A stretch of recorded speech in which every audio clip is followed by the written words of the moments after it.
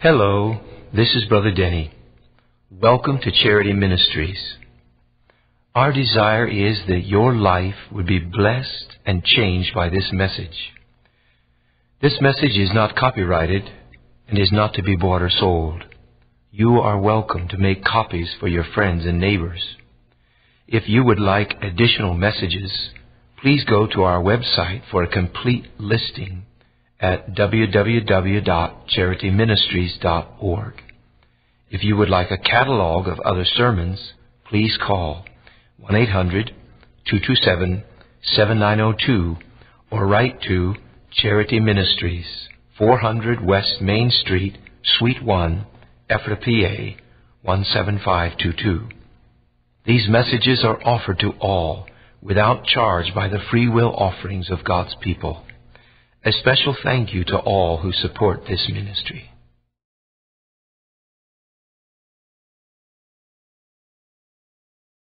Amen. That is a secure place, isn't it? For the Christian, the child of God. Hallelujah. Like if we could sing another song as a prayer unto God. O Heavenly Father and merciful Lord, we come to you now in one mind and accord. We are so undeserving to make this request. By your sweet Spirit, Lord, let us be blessed. Open the windows and pour out a blessing. Can we sing that together?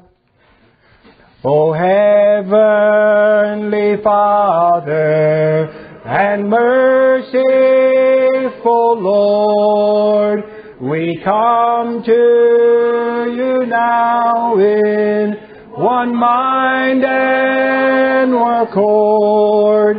We are so undeserving to make this request by your sweet Spirit. Lord, let us be blessed. Open the windows and pour out a blessing. Shower your power upon us, we pray. Send such a blessing, we cannot contain it.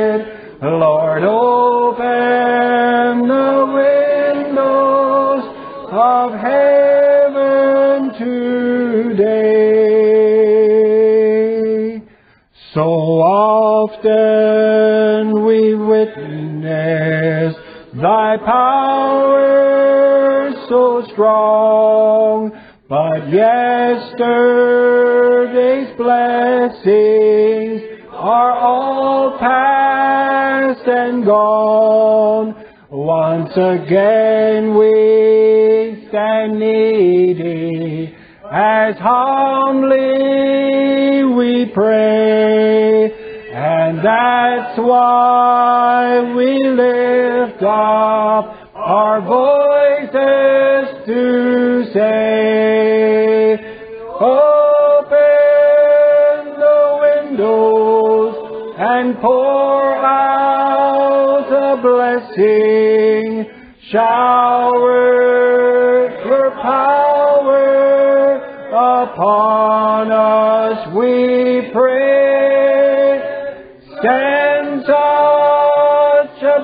we cannot contain it.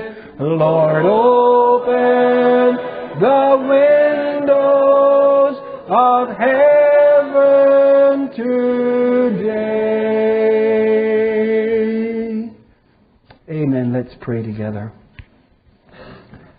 Yes, Father, we've lifted up our voices in a song of request and prayer that you would look upon us, Father, and open the windows of heaven and pour out a blessing, Father.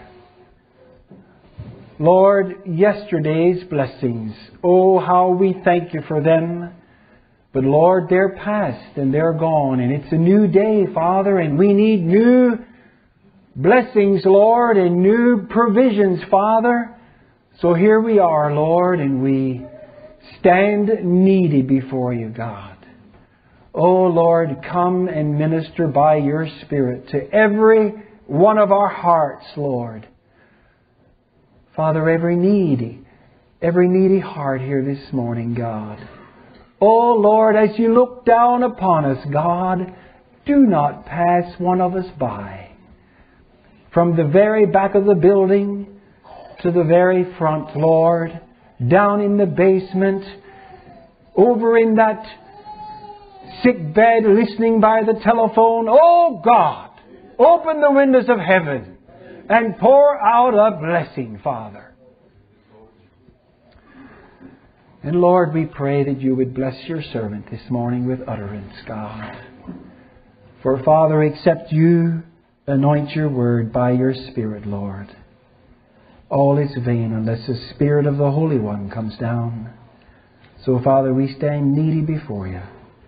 And we ask, Father, that you would walk in the midst of the congregation today. Walk in the midst, Lord, of the church at Charity Christian Fellowship, Lord. Have your way, we pray in Jesus' name. Amen. You may be seated.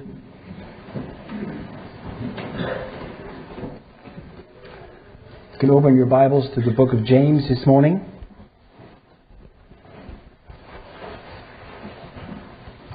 God bless each one of you. Thank you for coming our way today.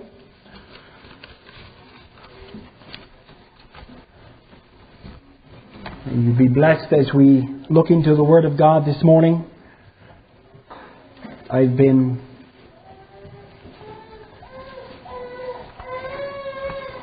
preaching through the book of James, but it has taken quite a while. The Lord has allowed us some other pathways at times, and we praise God for that. But as I was praying about what to share today, I just felt it was time to pick up again in the book of James, and we'll see how far the Lord takes us today as we look into His Word. Want to begin in chapter 4 and verse 13. So we'll read verse 13 through 17 of James chapter 4.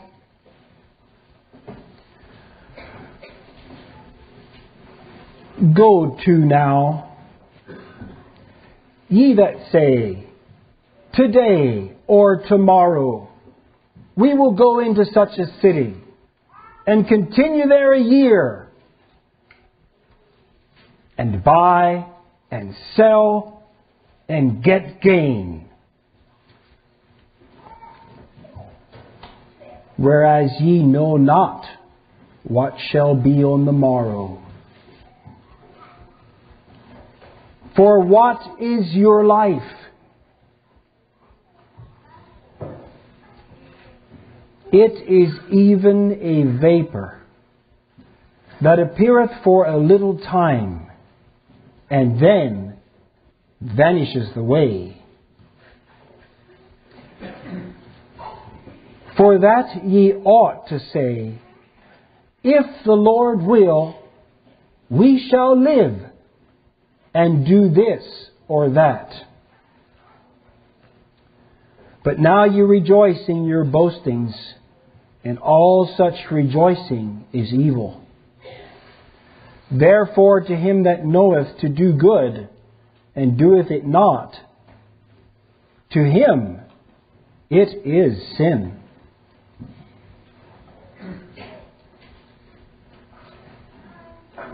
The book of James is a strong letter. As I look at the book of James in the scriptures,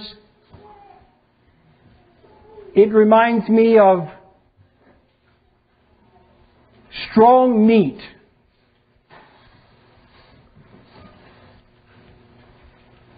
It reminds me of going on to perfection, unto maturing and to maturity.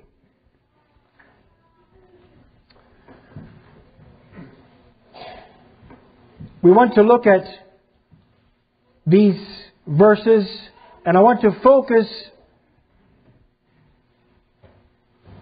for a theme of these verses from verse 15. If the Lord will. You know, God has a will for your life. God has a plan for your life. Do you believe that? We're not here by accident.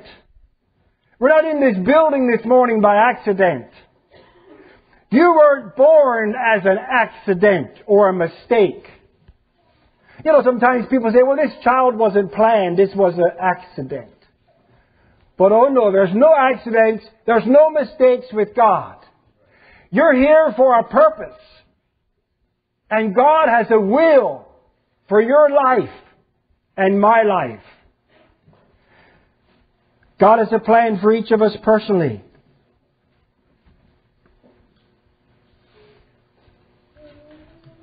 How do I look upon the will of God? Do I look at it as a blessing and something that I want to discover and pursue after with all of my heart? Or do I look at the will of God as like bitter medicine and I have to take it?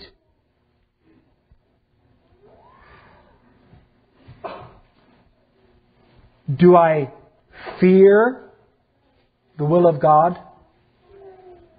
Do I fear to surrender my life to Him? Do I trust Him that God is love and that His thoughts toward me are for my good? Do I trust my Father in heaven And therefore I can say, Yes, Lord. To thy will and to thy way. Yes, Lord. You know, I have to confess this morning, there was a time in my life that I was afraid of God and His will for my life. I was afraid to totally let go of the reins of my life. Do you know what I mean? You know, it's like I want to be in the driver's seat. Yes, Lord, I want you, I want you to guide my life, but let me have a hold of the steering wheel. Can anybody identify to that? Praise God. But you know, that's pretty hard. It's not a real full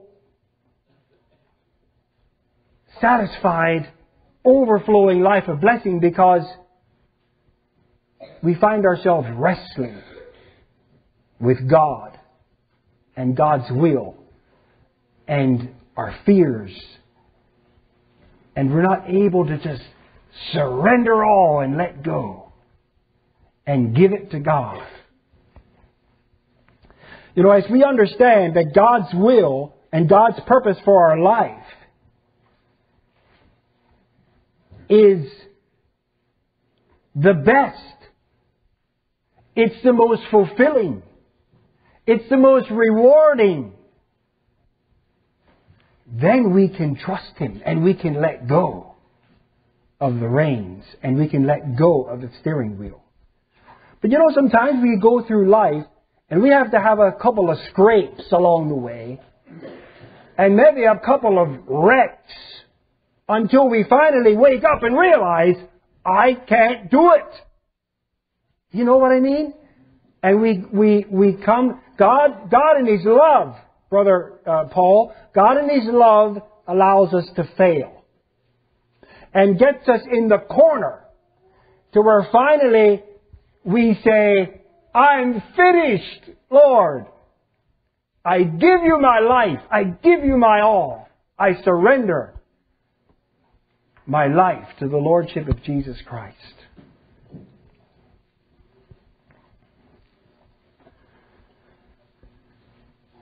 In these verses, we see three different attitudes regarding the will of God. There's those who make their plans, ignoring God's will and God's plans.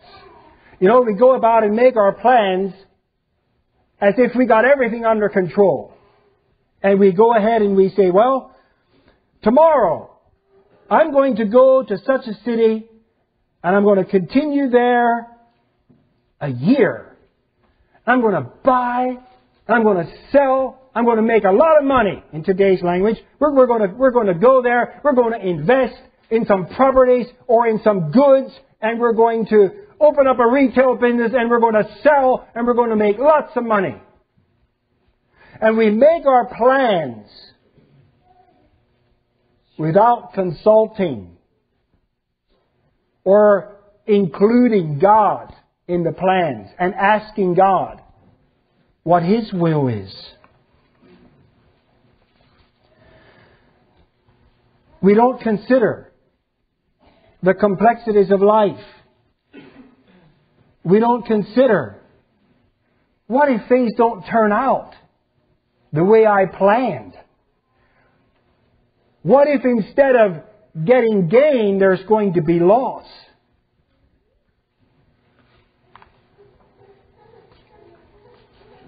You know, when we make plans for a whole year, Proverbs 27 1 says, Boast not thyself of tomorrow, for thou knowest not what a day may bring forth.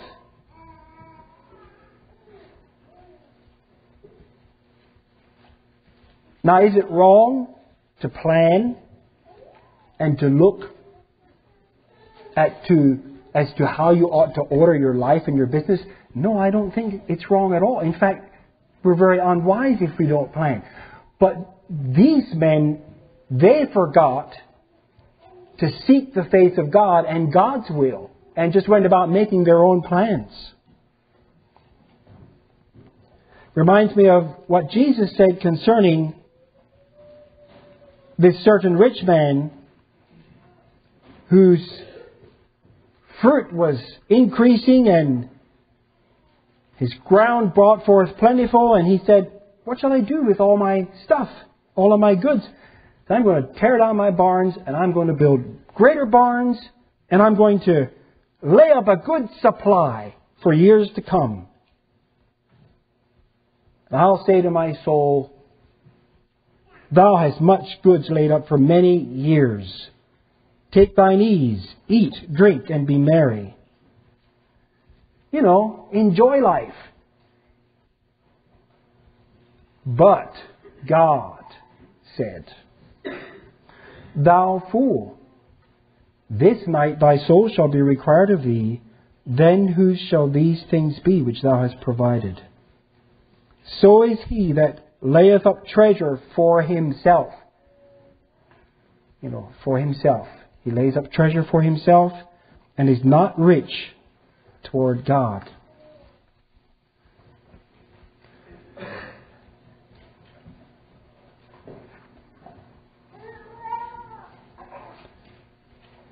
These men didn't consider in making their plans that life is but a vapor. It's just like a little puff of steam, and then it vanishes into thin air. You know, life for us seems a long time. We measure it in years.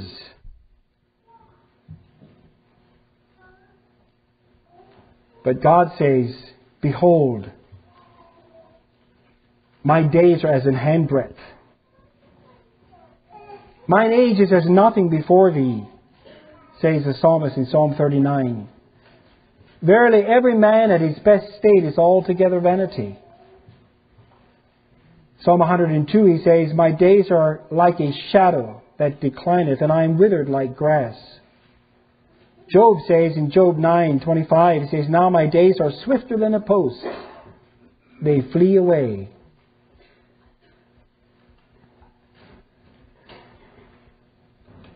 psalmist said some very pertinent words to us. He said, So teach us to number our days that we may apply our hearts and unto wisdom.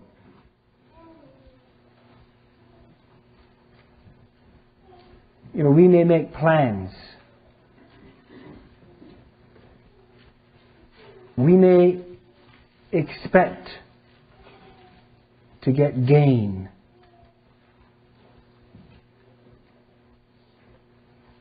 And to buy and to sell. But, my dear brothers and sisters,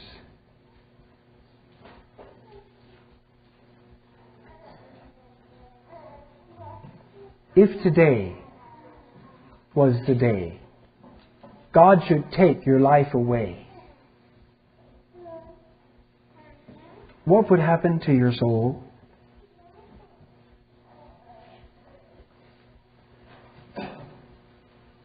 You know, we're just one breath away from death. That's, that's amazing. When we think of how frail and fragile life is.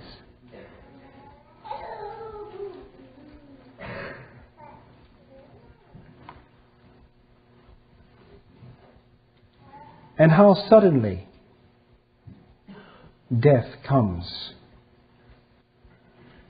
It's foolish, it's dangerous to try to ignore the will of God and just live our own lives and make our plans.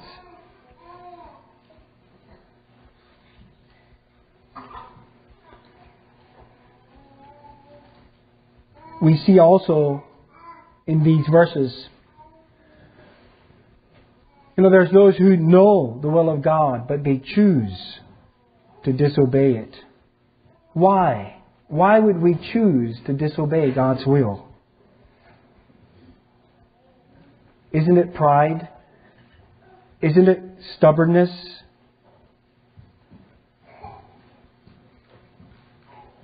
You know, pride, I can do it my way.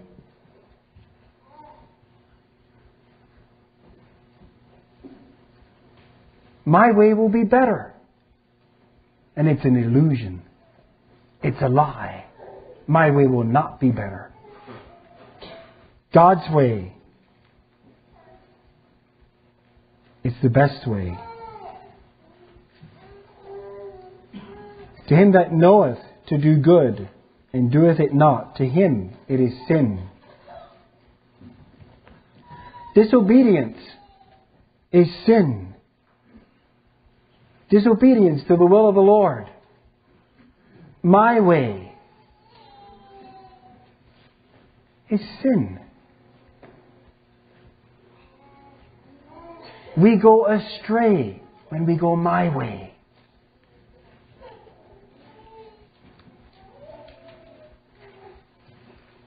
Jesus said these words. He said, That servant which knew his Lord's will, and prepared not himself, neither did according to his will, shall be beaten with many stripes. He knew his Lord's will, but he didn't prepare himself. He didn't listen. He didn't obey. Neither did according to his will. He shall be beaten with many stripes. But he that knew not and did commit things worthy of stripes shall be beaten with few stripes. For unto whomsoever much is given, of him shall much be required. And to whom men have committed much, of him will they ask the more.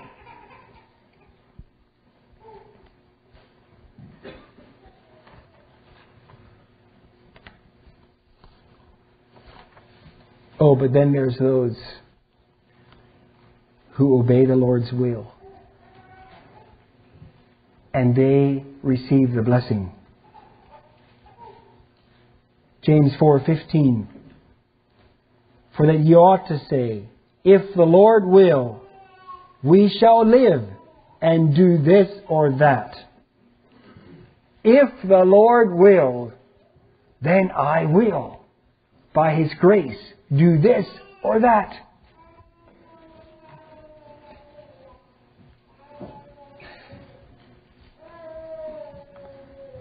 God is at the head of all my plans. If the Lord wills, that's what I will. Not my will, but the Lord's will be done. Not my glory, not my name, but the Lord's glory. My life is for Him. You know, God wants you to be filled with the knowledge of His will. He says that right in Colossians 1 9. In Colossians 1 9, Paul saying there to the church there, he says, For this cause we also, since the day we heard of it, do not cease to pray for you and to desire that you might be filled with the knowledge of His will in all wisdom and spiritual understanding. This is the will of the Lord, that we would be filled with the knowledge of His will, have a clear and a deep understanding, a clear picture, clearly discerning what God's will is for our lives. In all wisdom, and that in all wisdom is into having a comprehensive insight into the ways and the purposes of God for our lives. In all wisdom and spiritual understanding. And when I think of spiritual understanding, I believe that's the meaning of spiritual discernment. Being able to discern spiritually and discern rightly spiritual things. It's God's will for us that we be filled with the knowledge of His will. In Ephesians 5, he says it this way, very similar. He says, See then that ye walk circumspectly, in verse 17, or verse 15 through 17, not as fools, but as wise, redeeming the time because the days are evil. Wherefore be not unwise, but understanding what the will of the Lord is.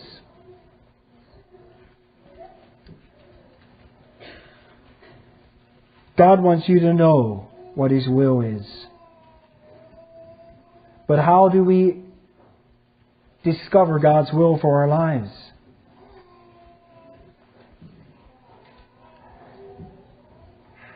In Romans 12, very familiar verses, God says, I beseech you, therefore, brethren, by the mercies of God, that ye present your bodies a living sacrifice, holy, acceptable unto God, which is your reasonable service. And be not conformed to this world, but be ye transformed by the renewing of your mind, that ye may prove what is that good and acceptable and perfect will of God.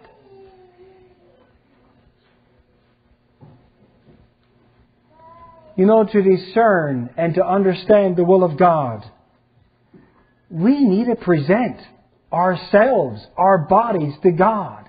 We need to give up ourselves to God.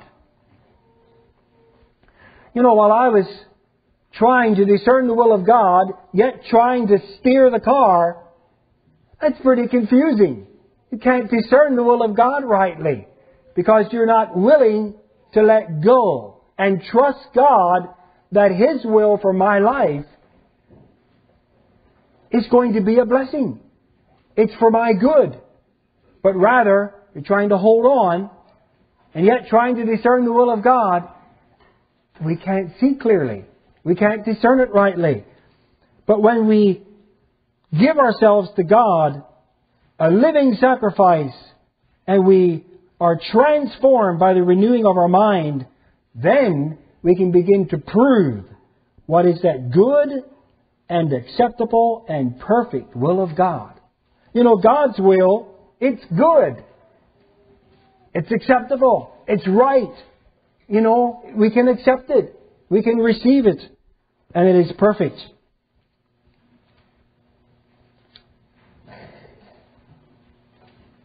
You know, one of the first questions we have to really get face to face with is do I really want the will of God for my life? That sounds like a very elementary question, but it's very crucial and very key. To understanding the will of God and to proving it in our lives. Really, deep down from the heart, do I want my will or am I surrendered to God and His will? Am I trying to do the will of God halfway? Or, like it says in Ephesians 6, he says, not with eye service as men pleasers, but as the servants of Christ, doing the will of God from the heart. You know, it's a heart issue. Doing the will of God from the heart.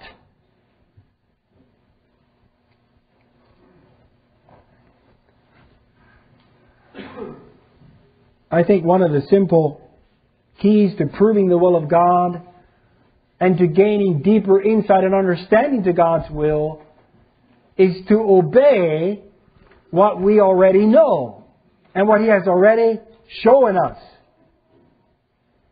But if I want to go around this one area and say, well, Lord, I don't quite, that's not very agreeable to me or not acceptable to me, and we try to go on to other parts of God's will, guess what happens?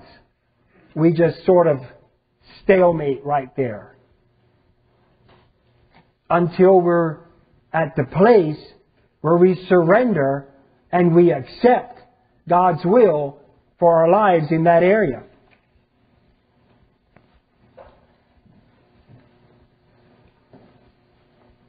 If the Lord will, then we shall do this. We shall live and do this or that.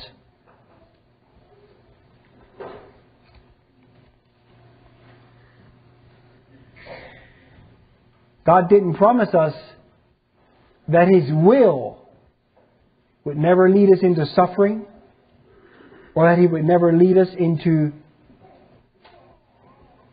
disappointments, losses, afflictions, trials. But He did promise us that He will go with us Yea, I will be with thee. I will go with thee, even unto the end of the world.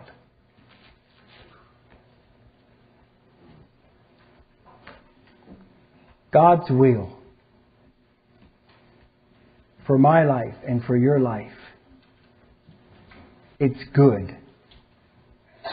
It's acceptable. It's right.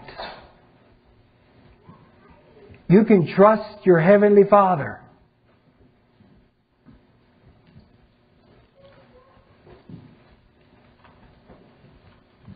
You know, and sometimes I think we sort of look at this whole matter as if it's optional, you know. I can pick and choose.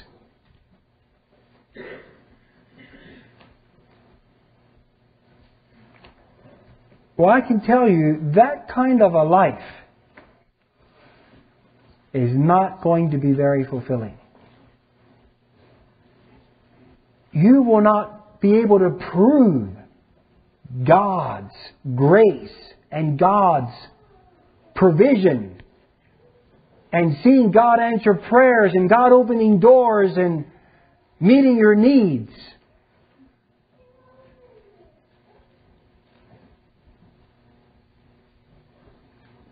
If the Lord will. then I trust there's a resounding yes from your heart.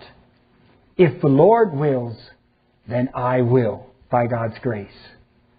What the Lord wills for my life, that's what I want.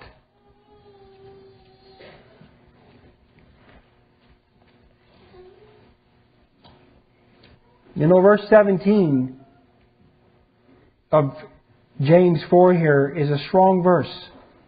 Therefore, to him that knoweth to do good, and doeth it not, to him it is sin. And that verse has been applied in many different areas of the Christian life. But I'd like to apply that in the context of what it is written here that if we know the will of God, and we know what God's will is for our lives. And I'm not saying every detail of should I buy this or do that or eat this or drink that or, you know, I'm not talking about that. But what I'm talking about is if in the area of your life of surrender and commitment to God, and you're holding on to some of your own will and yourself, you know, how can those two, how can those two flow together? And so if we know the Lord's will and we know what God wants from our lives, but we're not willing to do it, I think that applies here. To him that knoweth to do good and doeth it not, to him it is sin. But I don't want to cause confusion here or complicate things. God's will isn't that hard. It only becomes hard when my will gets in the way. Amen? You know, it's when my will stands in opposition to God's will. But when my will is surrendered, then God's will becomes a joy and a blessing and yields a beautiful, fruitful life. Am I surrendered to the Lord?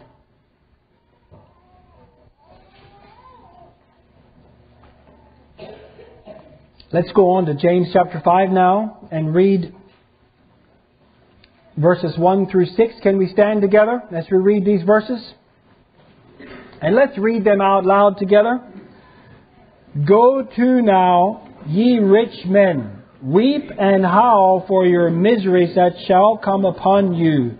Your riches are corrupted, and your garments are moth eaten. Your gold and silver is cankered, and the rust of them shall be a witness against you, and shall eat your flesh as if it were fire. Ye have heaped treasure together for the last days. Behold, the hire of the laborers who have reaped down your fields, which is of you kept back by fraud, crieth. And the cries of them which have reaped are entered into the ears of the Lord of Sabaoth. Ye have lived in pleasure on the earth, and been wanton. Ye have nourished your hearts as in the day of slaughter. Ye have condemned and killed the just, and he doth not resist you. Amen. You may be seated.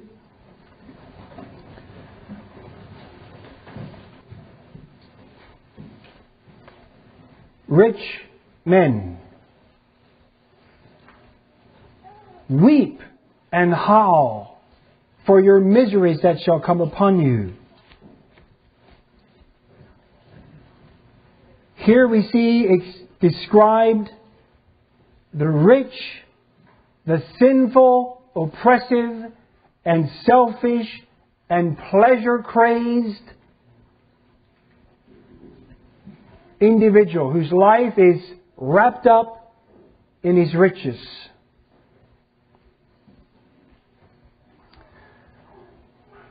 And he gives some strong words. He says, Rich man, there's misery coming. Your riches are corrupted. Your garments are moth eaten. Your gold and silver is cankered, and the rust of them shall be a witness against you, and shall eat your flesh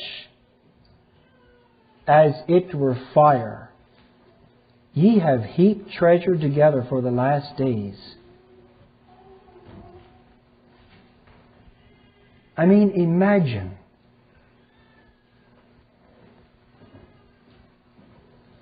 Look at those treasures. And maybe not many of us here today have invested in gold or in silver. But what are those riches? What are those treasures? He says, whatever they are that you've heaped up,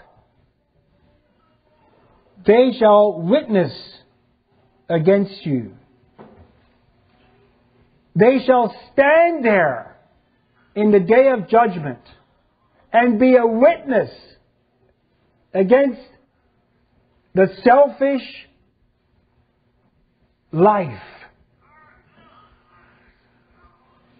It not only will witness against you, but it shall eat your flesh as if it were fire. Those are strong words. You know, this is a subject that's not real popular to address. But it is amazing how much it is spoken of in the Bible.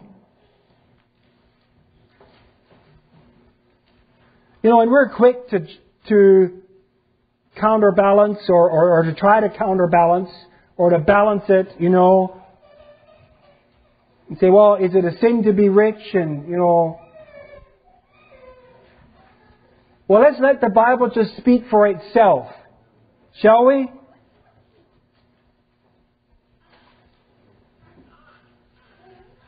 Jesus had a lot to say about this too.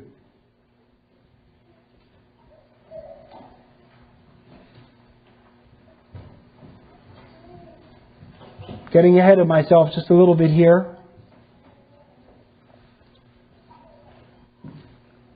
Why is this strong word of condemnation given to these rich men? I think verse 4 down through verse 6 gives us the answer to the question. He says, Behold, the hire of the laborers who have reaped down your fields, which is of you kept back by fraud, crieth. And the cries of them which have reaped are entered into the ears of the Lord of Sabaoth. So we see that there's a taking advantage of the individual that is powerless to do something about that. He is in a position where he can't he can't go to the judge and and be vindicated. You know, and I'm not sure where to put all that. What is the application in our day? I'm not sure that I have the answer. But I do think of personally, we have we have responsibility. But I even think of us as a nation. The goods that are brought in from foreign countries, made under child labor, forced labor, and everything in our nation is geared toward more goods and lesser price. Is there blood on the hands of our nation for that? We want it cheaper. We want it better. America is a very um, high consumer nation and living very richly from Chinese imports and, and a lot of other countries, uh, some, some that, are, that are very poor. I wonder what would happen if all of the Americans had to till our gardens, our own, our own produce producing food system. When you go down south and you look in the fields, who do you see working in the fields? The Mexicans, right? And I don't want to get into a, something that is off the subject here, but I, I just wonder sometimes. The God of heaven, who is just and looks down upon all these things. You know, maybe sometimes if we could really see the conditions upon which these toys were assembled in Korea, it would, it, it would not, it, it would be a, it would be a reproof to us. It would be a reproach. But what about us here this morning? What about me? He says, Behold the hire of the laborers who have reaped down your fields, which is of you kept back by fraud, crieth. And just bringing it down home, are we paying the employer his fair wage, his honest fair wage?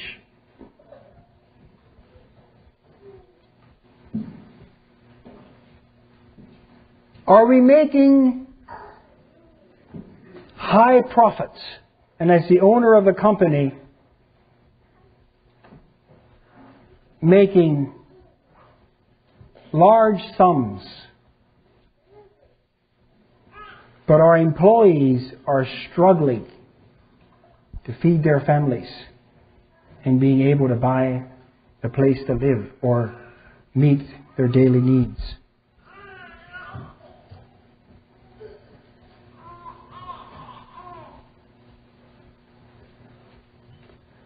Thou shalt not oppress an hired servant that is poor and needy, whether he be of thy brethren or of thy strangers that are in thy land within thy gates.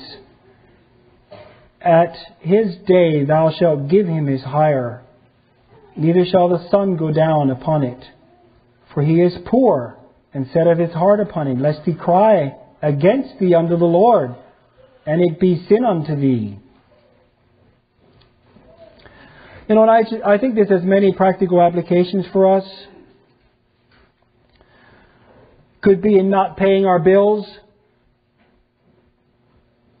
I, I think as children of God, as Christians, we shouldn't have a testimony that we do not pay our bills. We should have a testimony that is clear and free. It can be invigorating for the lowest price when we're purchasing something. You know, and these things speak to where we live. It speaks to my own heart. My business associates, do they know me as one who is always bartering for the last lowest dollar? Do I have an open door to witness to them of the love of Christ? Or am I ashamed after I behaved myself like that? Now, some countries, bartering is, is the way things are done. And I don't think it's wrong to ask the man, would you take an offer on this tractor, car, whatever it is? Would you take an offer? And, and he can say, well, sure, give me an offer, or he can say, no, that, that price is firm. And when it's all said and done, can I tell that man, let me tell you about my Savior, the Lord Jesus Christ, who changed my life? Or is my mouth stopped? Because of my unChristlikeness.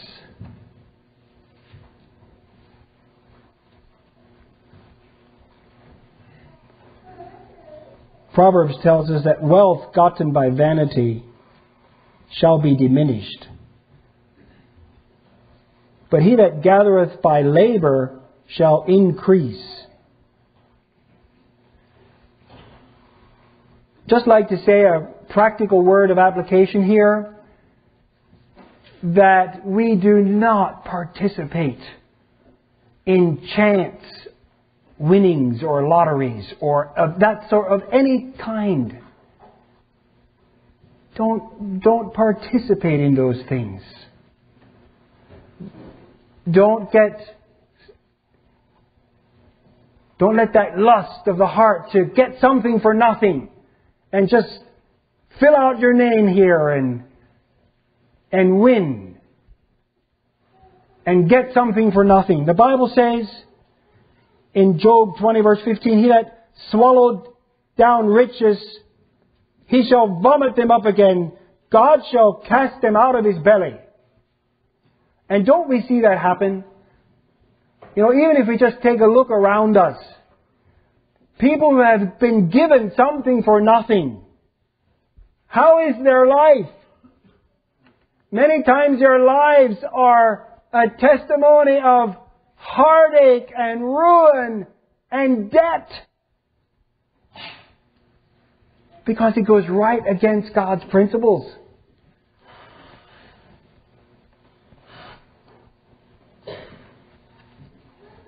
Is it wrong to draw interest on money at the bank?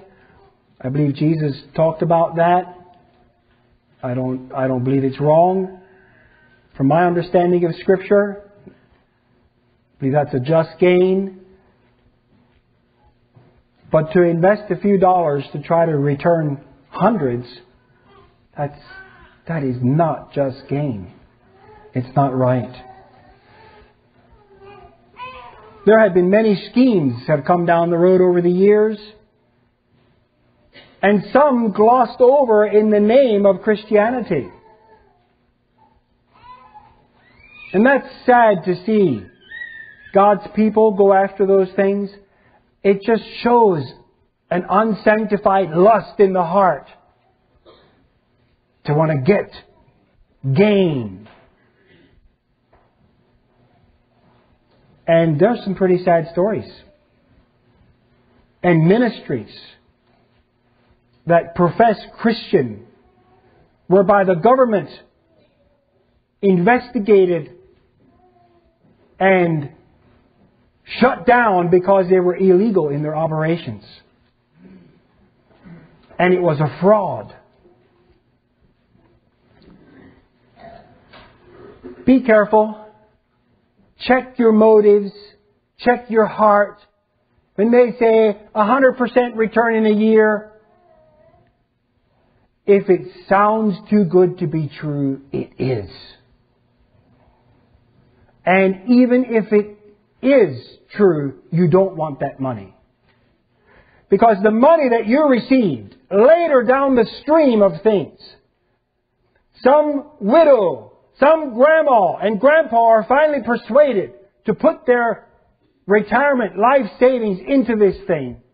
And then the whole thing collapses and crashes. And there's people who lost. They lost what they rightly worked for and laid up to care for them in their old age. And it was gone. And someone else profited by that. I'm sure you know that there's a lot of those things have taken place. But a get rich quick attitude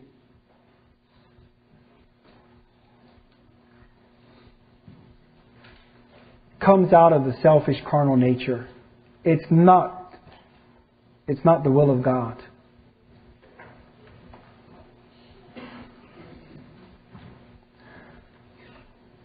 He says, The hire of the laborers who have reaped down your fields, which of you kept back by fraud, crieth. But I think of just practical things here, if I may just share a few practical things here this morning. If I am in financial need and things are tight financially, and, you know, we know what that's like, and we're in a stress and in a press, I believe it's right to go and ask the person whom we owe money to, can you bear with me? Can I, can I pay you so much a month? I want to pay my bills. You know, and, and to communicate and not just let it sit and not do anything about it. But as a Christian, as a person who's, who is to be in a life of integrity and uprightness before the Lord, we go and we communicate. And we say, can you, can you give me some grace? Or we go to our brother. This person says, no, I can't give you any grace. I must be paid. I've waited 90 days. You're way past due. And when we try to work something out. On the other hand, if we owe money like that and we're in a tight situation, it's not a good Christian testimony to turn around and buy some unnecessary thing. The person who you've been pleading with to have grace and mercy with you, how will he feel? when he sees and discovers that you've bought some unnecessary items, really with his money, and putting off paying the man to whom you owe it.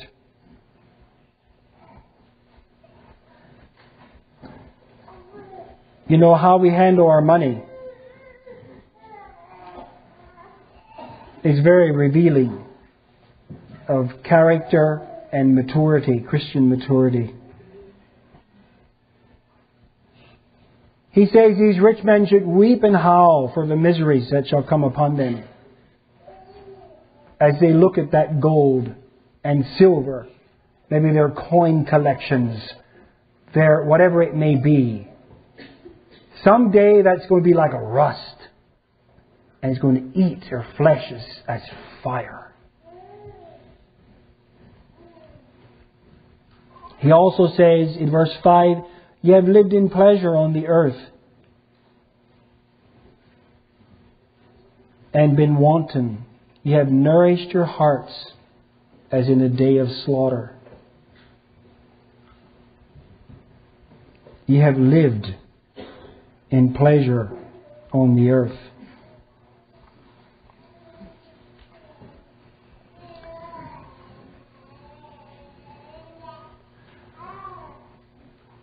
It was not only how they got their wealth, it was the way they used their wealth.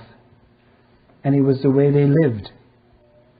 They hoarded it up to themselves, heaped together treasures, and then they lived in pleasure on the earth. I'm, I'm so blessed when I see people who their financial status is such that they could live much higher, but they don't. Because they have their value system right. And they're laying up their treasures in heaven. I'm sure you heard it said this way already. That person has too much money. And what people often mean by that is it's ruining their character. It's ruining their testimony.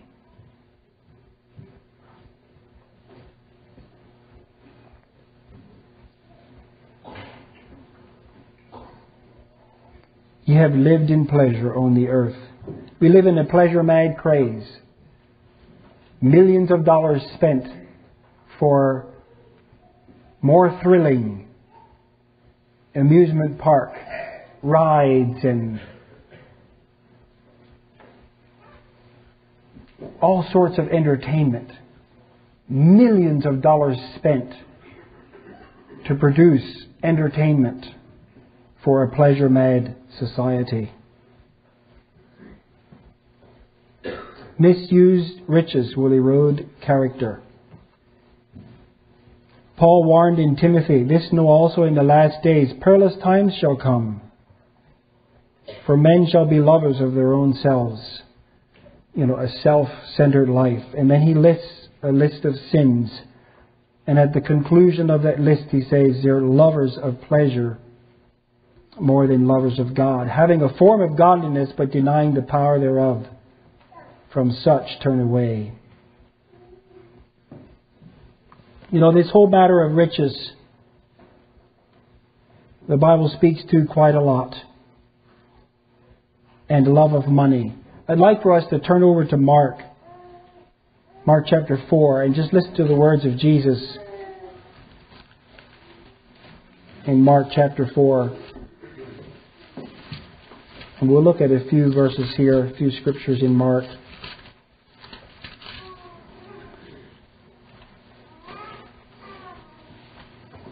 Mark chapter 4, we have the parable that Jesus gave of the sower.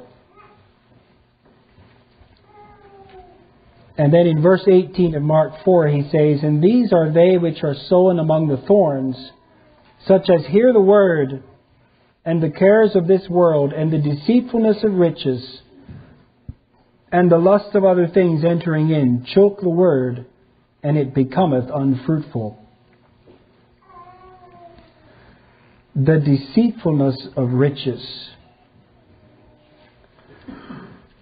It chokes the word. And when you think of choking,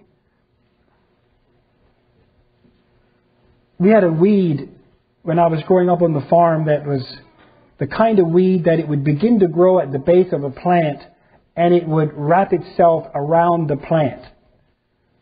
And it was interesting to see in how short amount of time a corn plant that was maybe this tall and the leaves spread out nicely and growing well, and this plant would begin to grow and twine itself around that plant until in a short amount of time that plant had all its leaves drawn in together where it was wrapped around it. It was, it was drawing it in.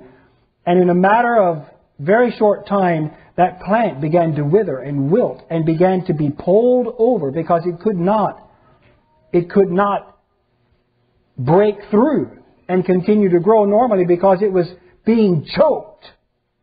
And that's the picture we have here of the riches entering in and the lust of other things and choking the word.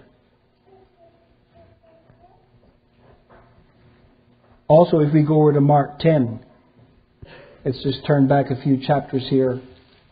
In Mark 10,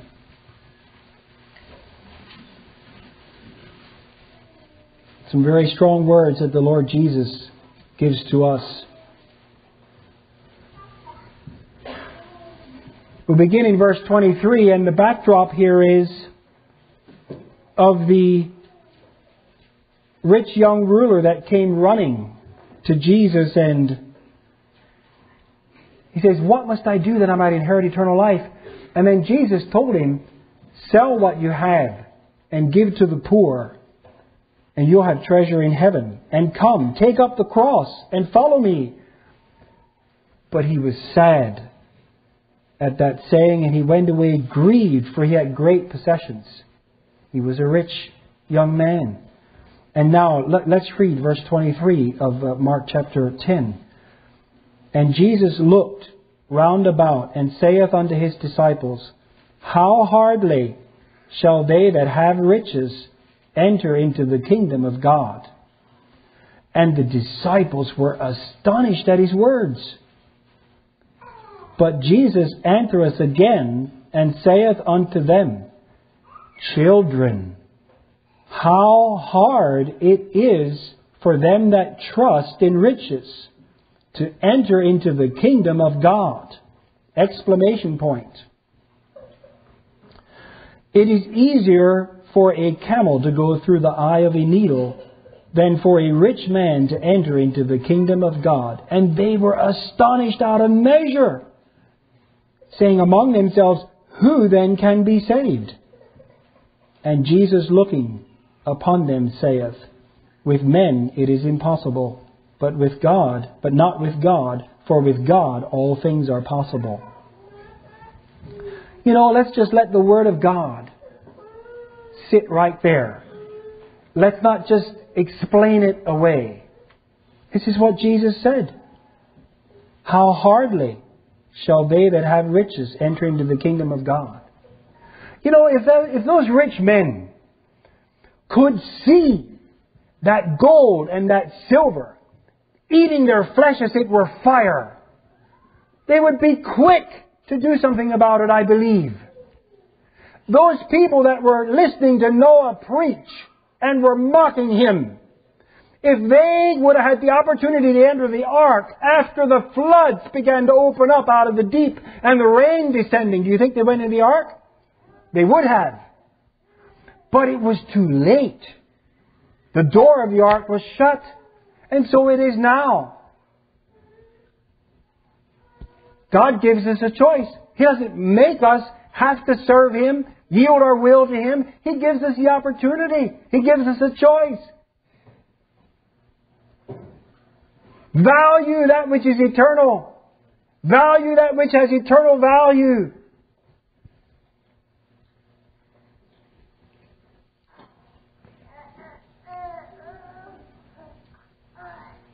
You know, and we can be quick to say, well, you know, um, Riches can be a blessing and can be used aright. And I don't deny that. But I say, listen to the words of Jesus. Listen to the words in James. The love of money is the root of all kinds of evil. But when men love God and are faithful to God, and God entrusts them with the unrighteous mammon, and they're faithful in it, oh, when God sees a man like that, He'll give him the true riches of heaven. That's what the Bible says. That's what Jesus says.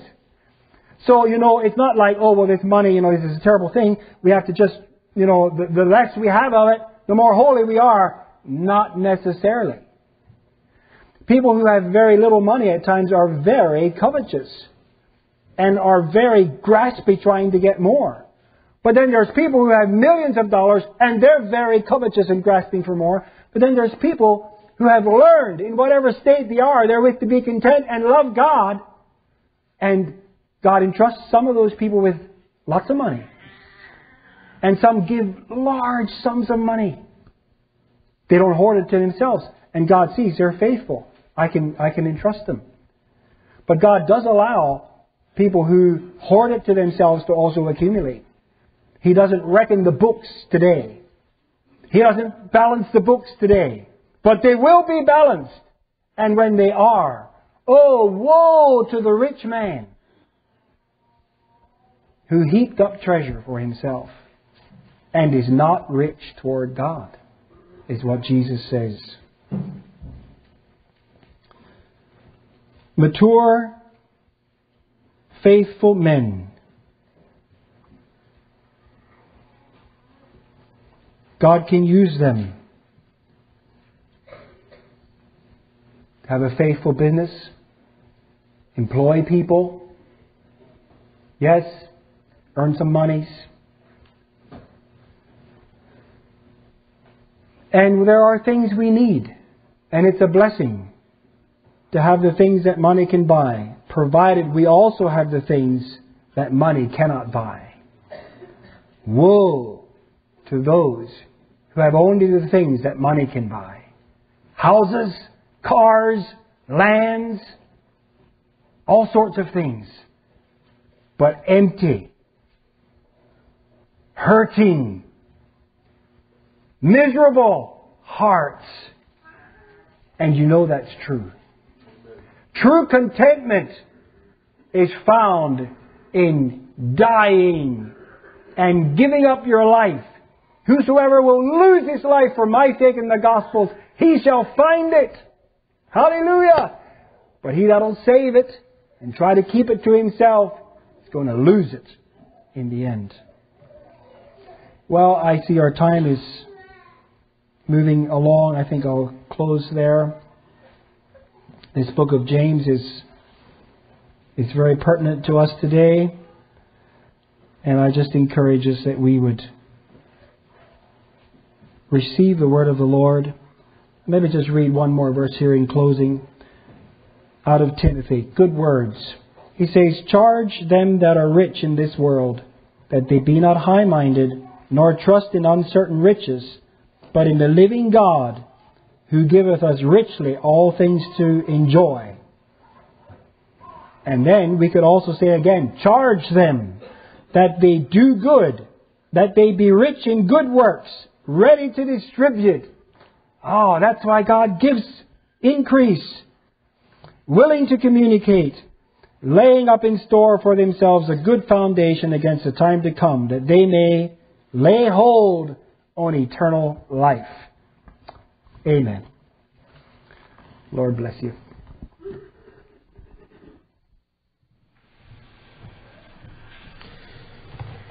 Thank you, Brother Aaron. Those words, the message. Very practical, isn't it? right down where we live, everyday life, especially five days a week, six days a week. And I think of the word contentment that is shared just towards the end there. Contentment is an attitude of the heart. It is not based on your status or of riches. Are you content?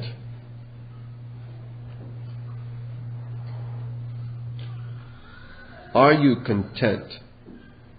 Truly content?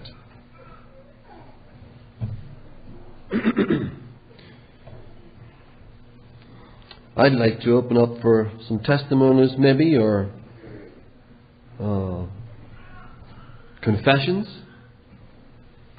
You get the ushers get the mics. Encourage you to just be open as uh, brothers and sisters. We need to be open with where we are. We need to be willing to acknowledge where we are and ask our brothers and sisters to pray for us if we're struggling in these areas. The warnings for the rich men is very strong. The warning for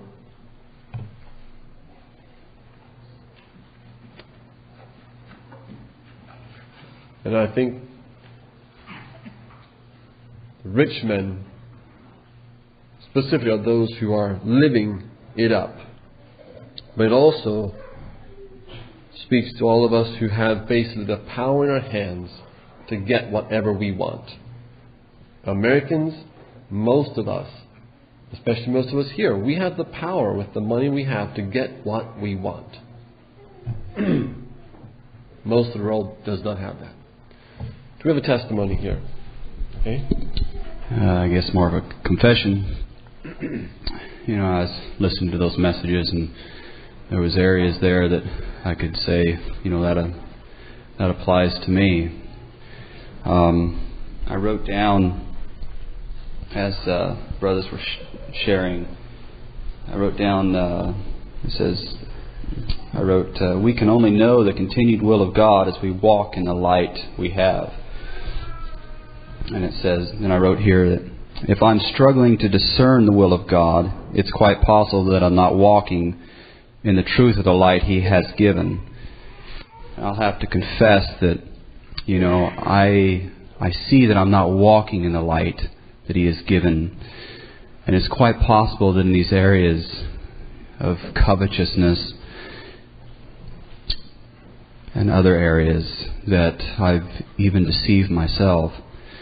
Self-deception is a is one of the hardest things to get to get through. But I want to give myself to the to the preaching. I want to give myself to the message because I believe it's the heart of God for my life. You know, I want to give my heart to the brotherhood. Uh, there's a verse that uh, stood out in First John. It says if we have if we say that we have fellowship with him and walk in darkness we lie and do not the truth. If we walk in the light as he is in the light we have fellowship one with another and the blood of Jesus Christ his son cleanses us from all sin then uh, chapter 2 verse 4 it says he that saith I know him and keepeth not his commandments is a liar and the truth is not in him but whoso keepeth his word in him verily is the love of God perfected and hereby we know that we are in him he gives us commandments. He gives us uh, direction. And as we walk in that, then God reveals more light to us, more truth.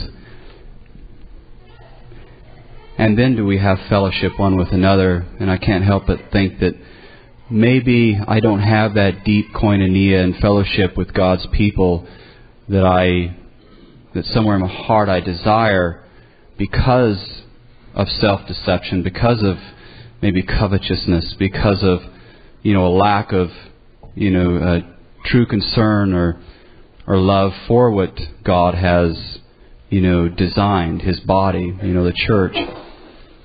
We were out uh, cutting up a, a pigs over there or a pig at uh, Merle's house, and I've uh, I've had a little bit of knowledge in in that and and uh, you know we killed the pig and you know, I began just getting into it and you know cutting it up and skinning it and you know and then you know having it and, and just doing my own thing and at the end of that near the end of all of that you know, it struck me that these men don't have a knowledge of what I'm doing. Wouldn't it have been better? Wouldn't it have blessed me to maybe lend a hand in helping them to maybe learn a little bit of what I I knew? And I think that goes along with the word. Do I have the patience? Do I have the con- the love, the willingness? Do I have the heart of God to just come alongside and just share what I have? I think that's that's the true heart of a of a disciple of the Lord and somebody who loves the commandments of God. And I can't claim that I'm there. I don't want deception in my life. I don't want to deceive myself in thinking I've attained to something. I I feel so so barren, you know, a lot of lethargy in my life. God bless you.